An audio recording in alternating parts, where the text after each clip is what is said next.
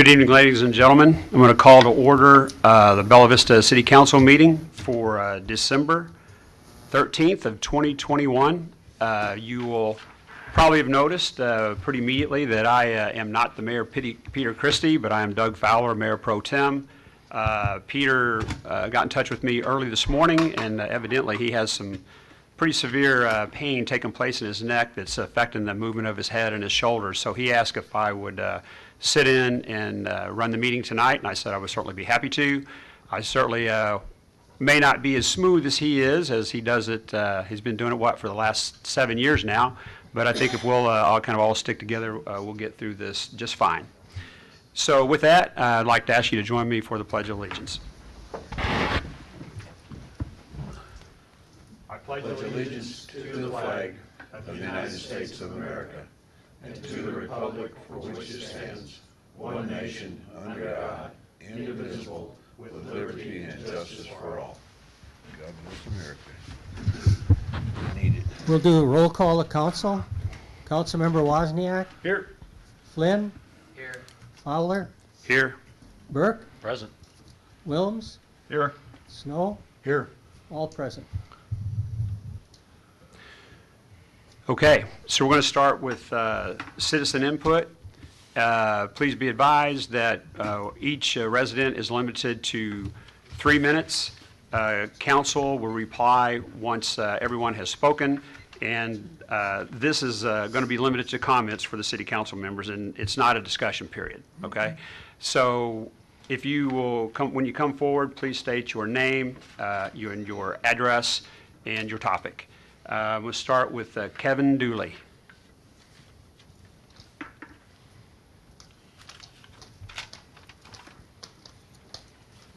Good evening, everyone. Um, Kevin Dooley, 122 Lester Drive. I recently attended the Freedom of Information Symposium in Little Rock, and while I was there, I got a couple hundred of these FLIA workbooks.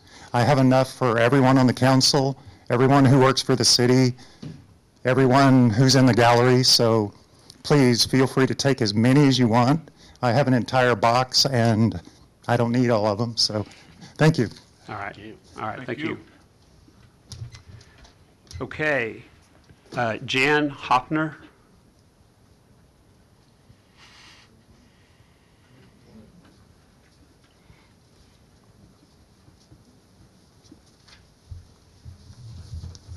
Good evening.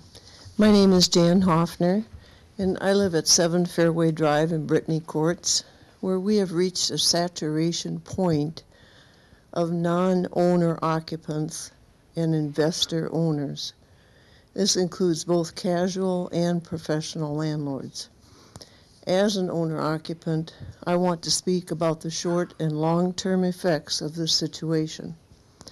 I want to thank Jerry Snow for listening to these concerns and for encouraging me to share them tonight, and I want to thank you for your time.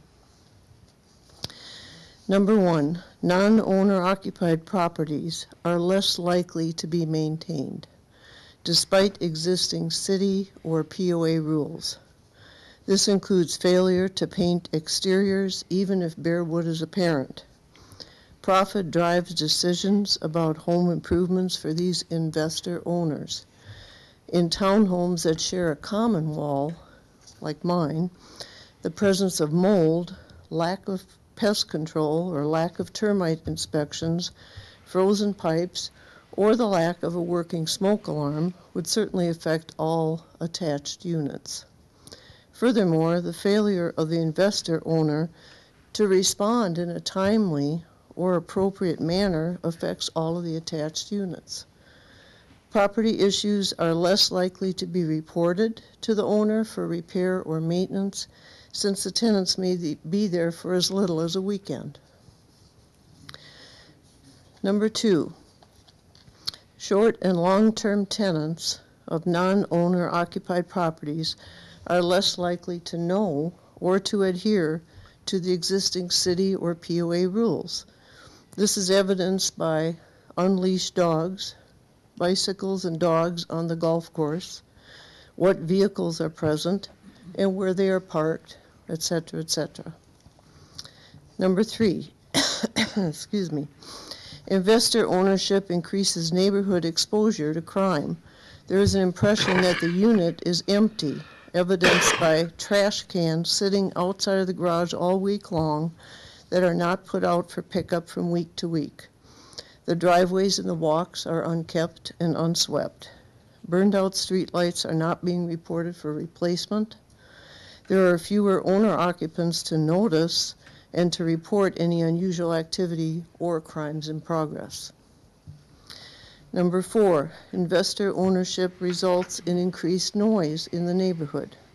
This is even more likely if there are no occupancy limits set by the owner, such as on a short-term rental.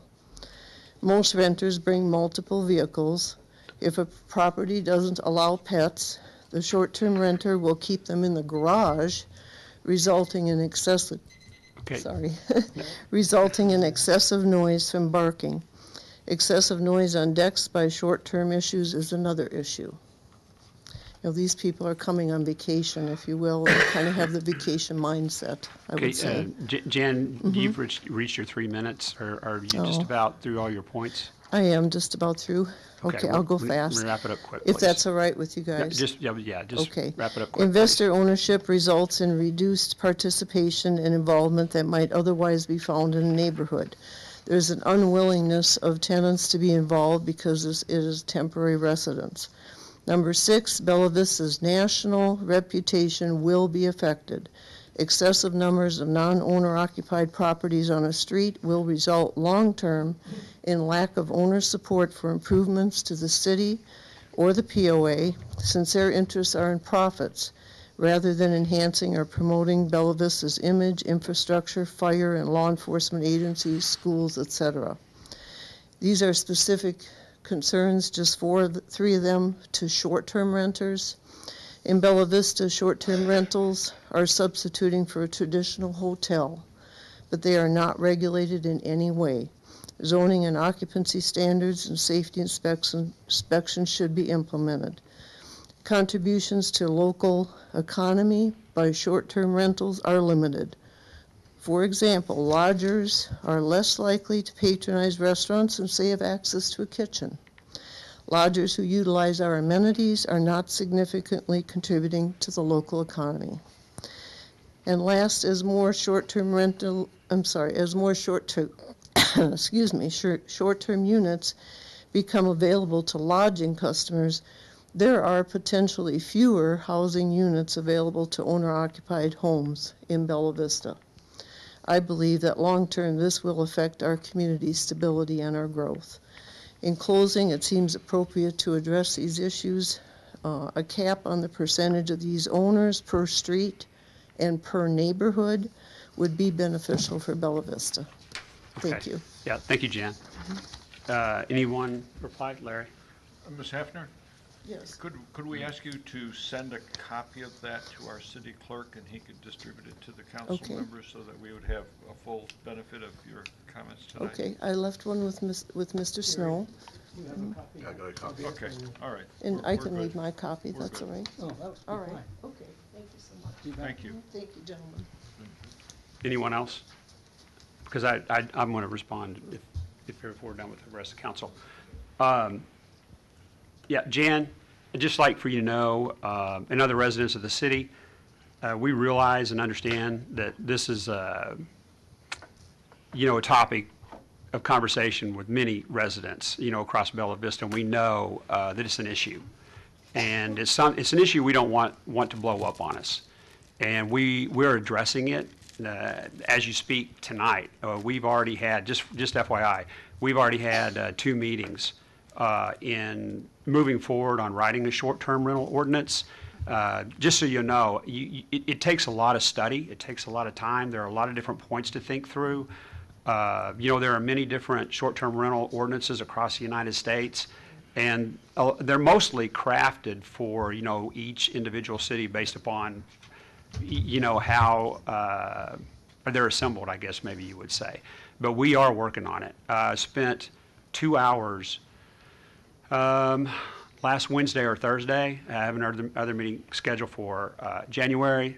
So I guess the net of it is, we're working diligently to put something together and address, it- address the situation. Assured me that that was, that was being worked on. But I also wanted you to know from an Yeah. owner who lives on a street that is now only thirty percent. Okay, man, I, I apologize, but we're, this, we're, this isn't, we can't have a discussion, but I just wanted to let you know that we're working on it, okay? All right, thank you. All right, thank you very much. Okay, that's all. That's it. All right, moving along. Um, Approval of minutes. Has everyone had the chance to read the minutes? Uh, Anyone have any concerns, changes that they'd like to address? Move to be approved. All right. Uh, Jerry Snow. um, Second. moved- Jerry Snow moved uh, to approve, and John Flynn to second. Okay, roll call vote. Councilmember Snow, Yes. Wilms, Yes. Burke, Yes. Fowler, Yes. Flynn, Yes. Wozniak, Yes. carried, six zero. Okay, uh, monthly financial reports for September of uh, 2021. Uh, They were distributed earlier today. I hope everyone had a chance to look through them. Does anyone uh, have any comments, any feedback? John? Uh, the only comment I have is I noticed both this, and there's been some talk about this in the past. Happily, the, uh, both the city income tax and the county, uh, or city sales tax and county sales tax is up almost twenty percent. Both of them are almost twenty percent. Uh, verse, uh, twenty twenty versus twenty twenty-one. Okay. Yeah, just a couple comments from me. Uh, I had a chance to, you know, to go through it today. First to Karen, our new Director of Finance. Uh, Pardon me? Kim, Kim. Oh, Kim, I'm sorry, Kim. Er, um, Thanks for adding the, uh, uh, the city and the county breakdown. I appreciate it, because I think that's something a couple of us were going to address and ask that you do, and you did it on, and- and we appreciate that. Um, You added the uh, county effect of uh, our percentage being lowered, you know, to what we're going to be receiving, you know, to, from 11.9 to 10.6%, you know, to kind of help us see what that's going to mean to us. And as, as quickly as Northwest Arkansas is growing in revenue, uh, it appears that it, it still could affect us significantly on a month-to-month basis. From what I saw, it could be fifty to hundred thousand dollars, and that's really important to know as we look forward. Uh, and you added uh, turnback fee collections that have taken place so far year to date. And uh, over the three months we've been collecting, we're, we're about at $100,000 right now. So that's not an insignificant amount of money. I appreciate that view because we, we talked about all those things uh, at the Monday work session last week. Uh, Just in general, uh, for residents of the city to know, our general revenue is up uh, about $2 million year-to-date versus prior year. And that's across about, across about every measure. That's not just attributed to sales tax from the city and the state, but it's uh, ambulance revenue, uh, property taxes, et cetera. So, uh, you know, so we have uh, real, he- real healthy taxes coming in to help us uh, fund our city. And our expenditures so far year-to-date, we're about $1.1 million uh, year-to-date un- under budget. And I excluded the capital projects from that because, you know, that's kind of a moving target. We don't really know where that's going to land. More than likely, we'll probably be under budget on that as well because we probably won't spend everything. But the net of it is, uh, we're in a very healthy position uh, as far as the city is concerned financially. Okay, uh, I would like to entertain a motion to suspend the rules uh, and read all proposed ordinance and resolutions on the agenda by title only. Do we need to approve the financial report? no, No. Motion, So moved. Second. okay, uh, Mr. Flynn moved to approved, and uh, Larry, second. okay, roll call vote. Councilmember Flynn, Yes. Wilms, Yes. Burke, Yes. Wozniak, Yes. Snow, Yes. Fowler, Yes. carried, six zero. Okay, we're moving on to old business. This will be the second reading of uh, an ordinance approving the vacation of drainage easement at 2 Reardon Road pursuant to Section 107-37 of the Bella Vista Code upon conditions. Um, I don't know if we have, need to have any discussion about this, uh, but upon, the applicant ha- has a responsibility for uh, turning some paperback work, paperwork back into the city, um, addressing the specifics of what it is that they are requesting to be done. And we thought that would be done, that would have been submitted before now, and it hasn't uh, shown up yet. So we're simply, unless somebody has any questions about the vacation, uh, we're going to simply move this to the third and final uh, during the month of January. Larry? I guess the only comment I have is I'd, I'd like the minutes for tonight to show that when we discussed this at our last meeting, the um, uh, agent from uh, Crafton Tull, who was here to represent, Barry Williams from Crafton Tull was here to represent the work on the project and the easement documents. Um, He explained that the reason that we need to do the new easement and vacate the old one was because when Casey's site was developed, uh, they failed to uh, prepare the appropriate utility easement for drainage because of the pipe they installed at that time. Um, So it was a lack of oversight by the city in essence uh, for not catching that or not, and- identifying that and requiring that an additional new easement be prepared to address um, the actual location of the physical pipe that was installed. So we're trying to catch up on something that happened many years ago. Okay, anyone else? All right, uh, moving on to new business. Resolution 2021 resolution, or 2021 resolution, is in there a couple times. Adopting a city budget for the city of Bella Vista for the calendar year 2022, appropriating money for each item of expenditure and for other purposes. Um, I think I'm going to, I'm to, I'm to start uh, before I open up the floor. I'd just like to give a very general overview, very quick, down and dirty. So, um, as far as the uh, general operating expenditures, we're expecting revenue uh, for 2022 to be in the range of uh, $17.5 million. Our general operating expenditures, we're expected to be about $17.2 million. So uh, we're expecting revenues around $300,000 uh, greater than what our operating expenses are going to be uh, to date. Uh, Just from a personal perspective, I think probably our revenue projections might be a little low versus what we will actually realize. Uh, I think it's probably prudent in today's environment to be a little bit cautious. Uh, First of all, we have the county uh, uh, contribution for Bella Vista that has been taken down. I know that's going to impact our revenue from a county perspective. And then, just kind of state of economy, just because of the inflation, inflation that's taken place, et cetera, you never know what's going to uh, unfold in front of you, and you certainly don't want to lean out too far over your skis and expect that revenue is going to come in that in fact may not. So that's general operating expenditures. Um, Our street fund revenue, uh, we're projecting about $3 million uh, into the city for, uh, uh, for 2022 uh, with expenditures of $3.9 million. And so uh, that's an underfund of about $938,000. But this is something that we experience every year.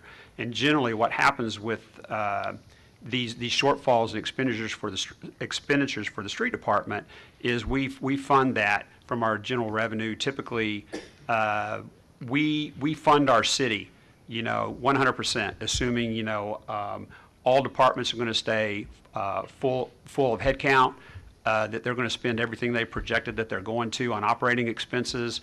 Uh, The five years uh, since I've been here, that has not happened yet. So we generally have, you know, an overage of, of revenue versus expenditures every year. And on another note, even if that would not happen, uh, we have a pretty healthy reserve, so we're always able to fund um, that, that street fund sufficiently. And I think the residents of Bella Vista, I think, for a majority, really appreciate the state of our streets uh, and uh, how the city's been able to uh, improve and maintain them. Um, Just a couple notes as far as uh, highlights, if you will. For 2022, uh, our city, um, you know, of course, the help of our HR director, uh, we did, we we experienced no medical insurance increases. Uh, Dental insurance was no, no increase either. Uh, Workman's compensation, we did have an increase at $27,000 there. And our de- debt service actually decreased from $355,000 to 98,000 due to a payoff of uh, equipment loan. And I'm not going to give any numbers because uh, I don't think anybody would probably want to retain them anyway. But just kind of, just for what it's worth, uh, Fire continues to uh, be the greatest expense to the residents of Bella Vista, but I'll say it's a very outstanding fire department. If, uh, I've never watched them actually on a fire myself, but I have watched them uh, at a residence, and my next-door neighbor had to call on them for help. And uh, neighbor called me first, and then I came over, and I was able to watch uh, our EMTs, our ambulance service, and it was quite outstanding. I was really impressed. So our emergency services in Bella Vista, I think, are next to none. Uh, The police department is our number two expenditure. Once again, very professional, very well staffed, very well equipped, and uh, I'm really glad they're here. Uh, Our third greatest expense is our community development uh, department. And uh, I work with these, these people quite often. As a matter of fact, I'm working with them right now on the short-term rental ordinance.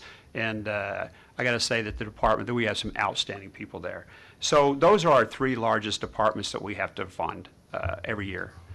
Um, So again, that was just a quick overview from me. If anyone uh, has any comments as to the city budget that's been proposed, or any objections, any changes they'd like to, to make, now's the time to do it. Mr. Fowler. Motion to approve. Mr. Fowler. Well, I, oh, I, Steve. I just would add also that uh, all of this is a matter of the public record, and I, I agree completely with uh, your summary of it, and I, I thought you did a great job kind of uh, hitting the high points. But if somebody is uh, interested in the details of it, they can approach City Hall and can get a copy of our budget. It's all part of the public record, so uh, every detail is available uh, should somebody be so interested. Okay, duly noted. Motion to approve again. Second. All right, we got a motion to approve by uh, Mr. Wozniak, and a second by Mr. Wilms. All right, roll call vote. Councilmember Snow, Yes. Flynn, Yes. Wozniak, Yes. Wilms, Yes. Fowler, Yes. Burke, Yes. carried, six zero. Okay. Our third item on the agenda tonight, resolution authorizing budgetary funding transfers between departments in the 2021 annual city budget. Um, You know, this is just a, uh, a resolution that we have to approve every year in case we have to transfer funds between different departments, so everything can balance out and we can close the books. Uh, Typically, we really don't have to do anything. Uh, This year, we might have one item that we have to address, and from what I understand, the library, the HVAC system went down, and we are going to need to replace that. And the cost estimate on that is about 26K. So uh, we may have to do something, you know, in, in the form of moving some money around this year. But other than that, I'm not aware of uh, anything else. Um, So that's it on that. If anybody, again, has any questions or comments? Ms. Snow? Um, I was under the impression the, um, the library building and everything was, uh, still owned by the, um, foundation. Is that not correct? It it is, it is. And uh, part of our lease agreement requires us to do all maintenance and upkeep, Okay, so that, that burden falls to us to take care of that. good, understand. Motion Okay. to approve. Second. Mr. Wozniak made the motion to approve. Mr. Williams, second. All right, roll call vote again. Councilmember Burke, Yes. Fowler, Yes. Snow, Yes. Flynn, Yes. Wozniak, Yes. Wilms, Yes. carried, six zero. Okay, so just briefly before me, next meetings and announcements, I would just say, as I was driving over here this evening, I'd like to comment on what a beautiful night Yeah. it is. The skies are crystal clear. It is 49 degrees. Venus is on the horizon. The Christmas lights can be seen all through the, the defoliaged trees. And uh, I'd just like to say thank you for, to everyone that puts the Christmas lights up for the enjoyment of the residents at large. It was just a really, really nice night to be thankful and grateful for being a resident of Bella Vista. Agreed. Second. Oh, second on Yes, that? Larry, uh, real quick, Larry, yeah? Uh, and we're done, right? Yes, well, I got a meetings and announcements I have to read, but. if you- Okay, I've got a couple of things. it- there- Okay, Uh, One, I'd like to acknowledge uh, Jeff Wetzel and his staff at B-List Burgers. Uh, Over Thanksgiving, they, along with the Knights of Columbus, which is a fraternal organization of St. Bernard's Church, uh, delivered uh, dinners to um, um, veterans at that time. Um, The second thing is, I'd like to acknowledge and thank the Bella Vista Community Church for their commitment for improving residential and our, our our residents' exposure and opportunities to enjoy local group performances. Um, They supported, um, the Bella Vista Community uh, has a concert band, and they performed at the Bella Vista Community Church on Saturday. Uh, The Bella Vista Men's Chorus uh, performed there on Sunday afternoon, allowing entertainment and exposure to some culture by our members and residents. Uh, Good concert on both parts. I'd like to thank all of them. Thank you. Okay, thank you, Larry. Very appropriate. Okay, meetings announcements. The next city council work session will be Tuesday, January the 18th at 5:30 PM in the Bella Vista courtroom. The next regular meeting of the city council will be Monday, December the 20, whoa, that's a wrong date there. January. January the 24th, 20 2022, at 6:30 PM in the Bella Vista courtroom. Planning Commission work session will be, again, this, uh, yeah, December 30th, is that right? Work session has been canceled with planning commission, they canceled that, so the December thirtieth will not be taken. Okay, so there will be no Planning Commission work session on December the 30th of 2021. Uh, Planning Commission regular meeting, so the work session was not rescheduled, they're just going to have a No, work it's session. Okay. Planning Commission uh, regular meeting will be January the 10th, 2022, at 4:30 PM in the courtroom. And the Board of Construction Appeals will be January 11th, 2022, if needed. With that, I'm going to adjourn uh City Council meeting for December, and we look forward to seeing everyone in uh, January 2022. Happy holidays, Merry Christmas, Happy New Year. Could we not have a little sing-along or jingle bells or something? We could. Go right ahead. Go No ahead, gonna Jerry. stop you. Well, no, right everybody, ahead. everybody join in with us. No, no, no. Your suggestion started. Go for it.